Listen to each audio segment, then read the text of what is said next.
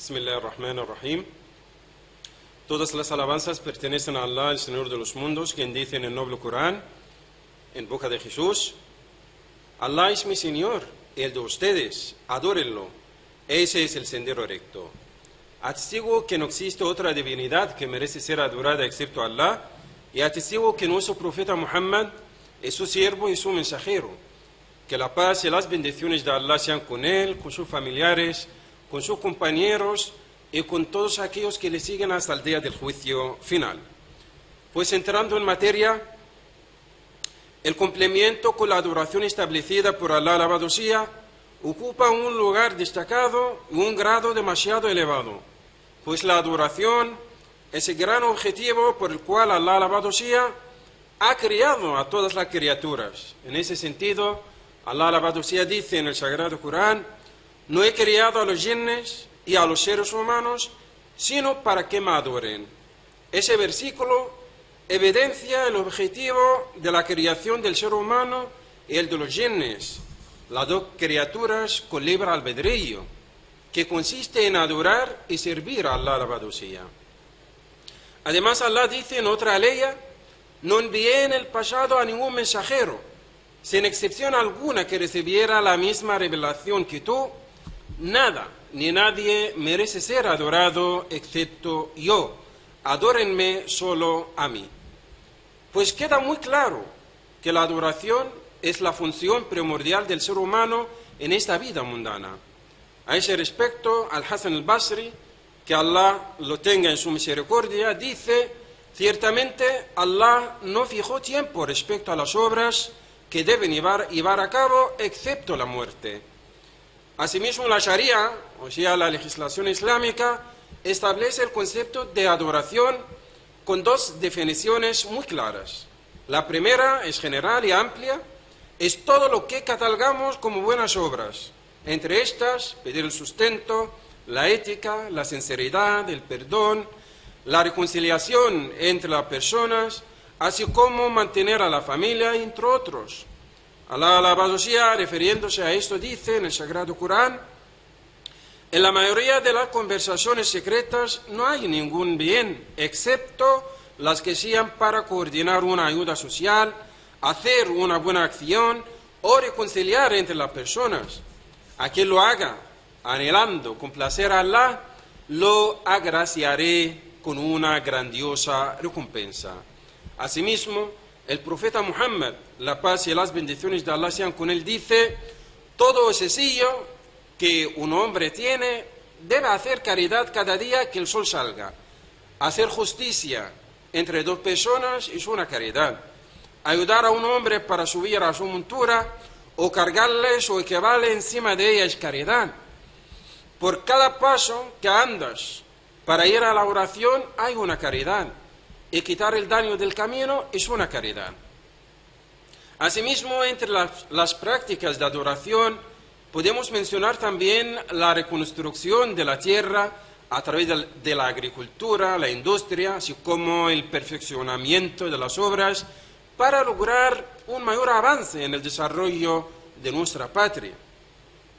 Al respecto, Allah alabado sea, dicen en, en el Sagrado Corán, y al pueblo de Samud le envió como profeta a su hermano Sala, que les dijo, oh pueblo mío, adoren a Allah, pues no existe otra divinidad salvo Él, Él los crió de la tierra y los hizo vivir en ella, imploren su perdón y arrepiéntanse, porque mi Señor está próximo cuando lo invocan y responde sus súplicas. También se relató que un hombre vino al mensajero y le dijo, mensajero de Allah, ¿cuáles son las personas más queridas por Allah? ¿Y cuáles son las acciones más queridas para Allah? El mensajero de Allah, la paz y las bendiciones de Allah sean con él, le respondió diciendo, las acciones más queridas para Allah, glorificado y exaltado sea, son llevar la alegría a un creyente, aliviar su angustia, pagar deudas por él o disipar su hambre, y caminar con un hermano para satisfacer sus necesidades. Es más querido para mí que observar el retiro espiritual en esa mezquita, es decir, la mezquita de Medina, durante un mes. Pues lo más queridos, los más queridos por Allah entre la gente son quienes hacen el mayor beneficio a las personas. La segunda definición del concepto de adoración, de acuerdo a la Sharia en especial, incluye la- las prácticas y rituales del Islam como lo son establecer sus pilares, la oración, el ayuno, el asaque, la peregrinación. Pues en ese sentido Allah, alabado sea, dice en el Corán, cumplan con la oración prescrita, especialmente la oración de la tarde, y preséntense ante Allah con total devoción. En otra ley dice, oh creyentes, se les prescribe el ayuno al igual que fue prescrito a quienes los precedieron, para que alcancen la piedad. Realicen la oración y paguen el zakat, es decir, el azaque, y sepan que todo el bien que haga será para su propio beneficio y su recompensa la encontrarán junto a Allah. Allah sabe cuánto hacen. Ahí, también en otra ley, Allah dice, ahí hay signos evidentes como el setial de Abraham. Quien ingrese en él estará salvo. Es obligatorio para las personas peregrinar a ese templo si se encuentran en condiciones físicas y económicas de hacerlo. Pero quien niegue lo que Allah ha prescrito, sepa que Allah no necesita, de sus, no necesita nada de sus criaturas.